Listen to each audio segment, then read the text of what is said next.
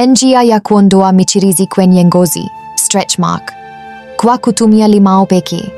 Alama katika ngozi zinaweza kukufanya ujisikie vibaya sana na usijisikie vizuri kuhusu mwonekano wako, lakini kwa bahati nzuri kuna njia kadhaa za asili za kupunguza michirizi au mabaka ya ngozi. Njia ni moja na rahisi kabisa.